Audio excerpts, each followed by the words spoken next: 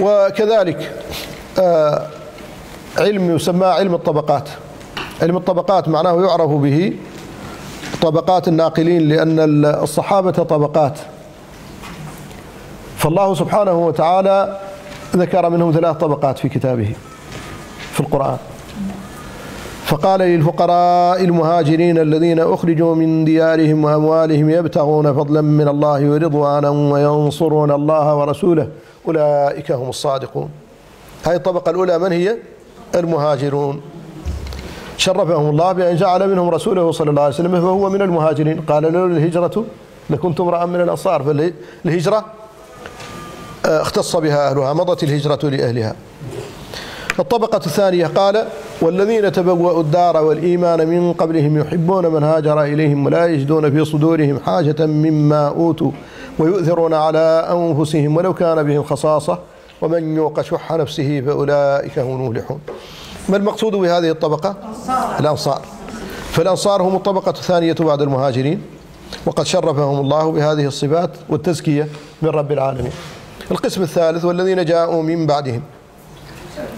الذين جاءوا من بعدهم من الذين آه، صحبوا رسول الله صلى الله عليه وسلم منهم الأعراب الذين كانوا حول المدينة وكانوا يأتون فيسلمون ويتعلمون أحكامهم ثم ينطلقون. ومنهم الذين أسلموا بعد صلح الحديبية من قريش كخالد بن الوليد وعمرو بن العاص وعثمان بن أبي طلحة وغيرهم.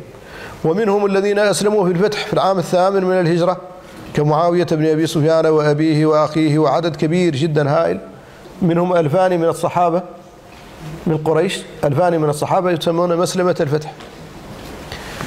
ومنهم الذين أسلموا بعد ذلك عام الوفود وهو العام التاسع من الهجرة.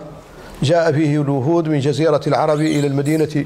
لم تبقى قبيلة معروفة إلا جاء منها وفد يمثلها إلى النبي صلى الله عليه وسلم.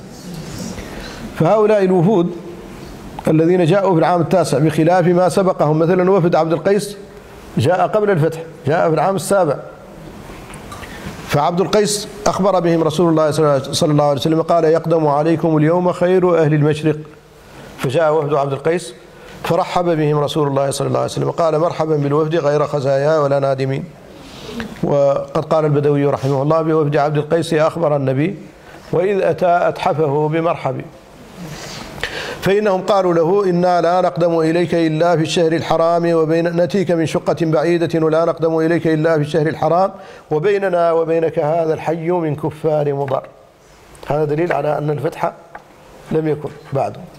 بيننا وبينك هذا الحي من كفار مضر. لكن الوفود التي جاءت في العام التاسع كلهم يعتبرون من الطبقة الثالثة من الصحابة.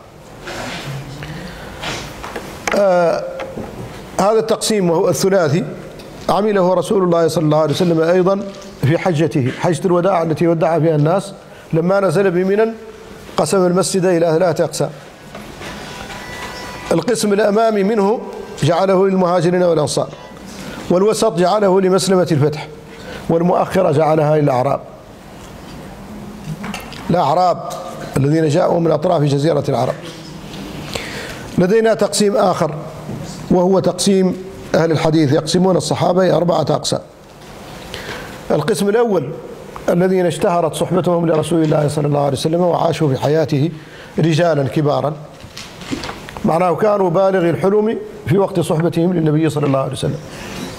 هذا القسم الذي يسمى القسم الأول من الصحابة. القسم الثاني الذين كانوا صغارا في العهد النبوي ولكنهم عاشروه وعاشوا معه.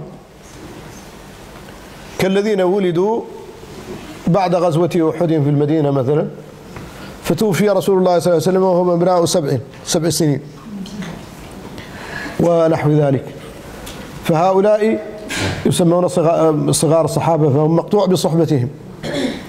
وأيضا روايتهم واضحة جدا كزينب بنت أبي سلمة ربيبة رسول الله صلى الله عليه وسلم فإنها دخلت عليه وهو يغتسل فرش في وجهها من غسوله من الماء الذي يغتسل به. فكان ما مسه الماء وأجمل كانت أجمل النساء بسبب الرش رش الرسول صلى الله عليه وسلم هذا. وكذلك آه، آه، عدد من الذين رأوه منهم من عقل المجة وهو محمود بن الربيع وهو طفل من الأنصار. محمود بن الربيع طفل من الأنصار صغير. دخل عليهم رسول الله صلى الله عليه وسلم في مزرعتهم. ففيها دلو معلق في نخلة فيه ماء فاغترف منه رسول الله صلى الله عليه وسلم فمضمض فاه ومج على هذا الولد. فكان هذا الولد معروفا لم يشب رأسه حتى مات وقد عاش أكثر من 100 سنة لم يشب رأسه. وقد عقل تلك المجة من رسول الله صلى الله عليه وسلم لم يحدث عنه أي حديث إلا هذه المجة. فالصحابي ليس من شرطه أن يحدث. هؤلاء يسمون صغار الصحابة. القسم الثالث الذين آه، رووا بعض الأحاديث ونسبوها إلى النبي صلى الله عليه وسلم وقد عاشوا كبارا في زمانه لكن لم تثبت لهم صحبة ولقاء فاختلف الناس فيهم هل هم صحابة أم لا. مثل عبد الله بن عكيم فعبد الله بن عكيم روى عن النبي صلى الله عليه وسلم حديث جلد الميتة. وكان رجلا كبيرا في العهد النبوي عبد الله بن عكيم. لكن لا لم يثبت أنه صحابي. ومن هذا القسم قوم كانوا رجالا في العهد النبوي. ولقوا رسول الله صلى الله عليه وسلم ولكنهم لم يكن إيمانهم في العهد النبوي إيمانا صحيحا. فلذلك يعتبر إسلامهم بعد وفاة النبي صلى الله عليه وسلم هو الإسلام الصحيح. ومن هؤلاء الحكم بن أبي العاص بن أمية بن عبد شمس وهو والد مروان عم عثمان بن عفان. فالحكم أخرجه رسول الله صلى الله عليه وسلم من المدينة ومن مكة إلى الطائف. وقد أخبر النبي صلى الله عليه وسلم أن خراب خلافة هذه الأمة على يد ذريته. فكان بنوه بنو مروان آه، وفي حديث أبي هريرة رضي الله عنه أن أنه حدث مروان أنه سمع النبي صلى الله عليه وسلم يقول خراب أمتي على يد أغيلمة من قريش. فقال مروان من هؤلاء خابوا وخسروا؟ قال أما إني لو شئت لقلت بنو فلان وبنو فلان يقصد أولاده هو. أولاد مروان أولاد مروان عشرة. ولكن اشتهر منهم عبد الملك وعبد العزيز. عبد العزيز والد عمر بن عبد العزيز. وعبد الملك أمير المؤمنين أولاده تأمر منهم تولى الخلافة منهم أربعة الوليد وسليمان وهشام ويزيد. وذرياتهم فهم الذين يفسدوا الخلافة لأن مروان هو الذي كتب الكتاب على لسان عثمان إلى أهل مصر. وفيه إذا أتاكم محمد وأبي بكر فاقتلوه. ومروان أيضا هو الذي قتل طلحة بن عبيد الله رضي الله عنه يوم الجمل. فكانت الفتنة بسبب ذلك. وهو الذي قتل النعمان بن بشير في الشام يوم مرج راهط لكن المهم أن أباه الحكم كان رجلا في العهد النبوي.